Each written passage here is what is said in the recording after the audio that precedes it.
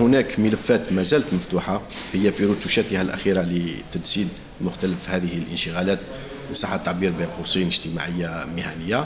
كذلك هناك تدابير وإجراءات وملفات أخرى ستفتح عما قريب. عدا تلك الملفات التي لا يمكن في الحقيقة تجسيدها على الأقل على الأقل لأنها غير منطقية دون الكلام عن عدم مشروعيتها وعدم مطابقتها للنصوص القانونية.